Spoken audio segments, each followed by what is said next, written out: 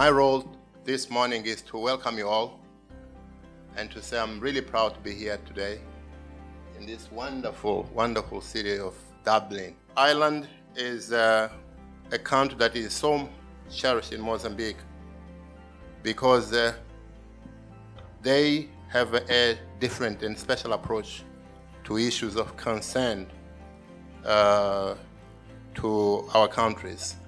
And when they decided to be present in Mozambique and to dedicate themselves to improving the health service in Mozambique and the quality of living as one of their own goals, they did something which is so important to us. Partnership for me is a mindset.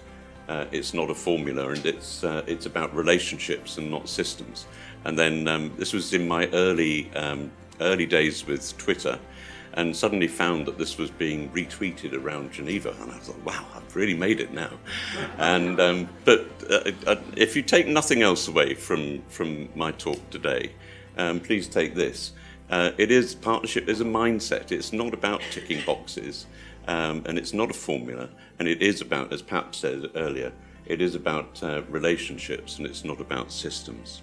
The aim is to build capacity through exchange of workforce and to build practical experience and skills to meet our mission of ensuring adequate and safe blood and components to the hospitals and their appropriate utilization to save lives.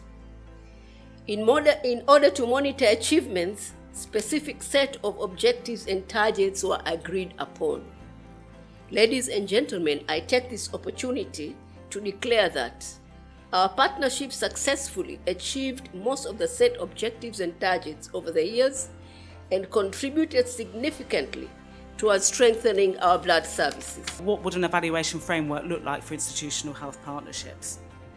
And so, really, what we, what we want to answer in this short session is why develop the tool how was it developed, what does it look like, and hopefully you now have a copy of this tool, and what does it do.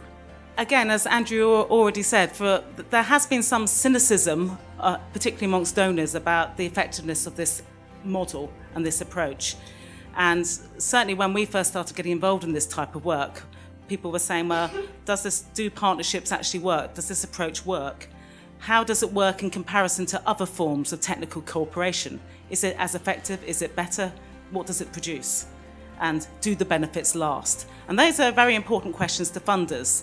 And I think for those of us who do believe that this is a good approach, then we need to be able to find ways of pr providing the evidence so that if we can provide the evidence to funders and answer these questions for them, hopefully there will be more funding available for this kind of approach to working.